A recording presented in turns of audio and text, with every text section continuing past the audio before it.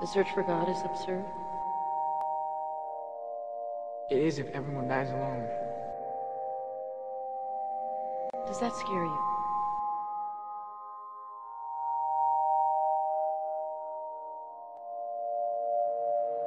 I don't want to be alone.